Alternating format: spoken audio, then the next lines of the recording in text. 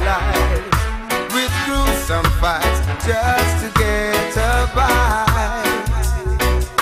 My friends and my environment sometimes may do me wrong, but by my faith.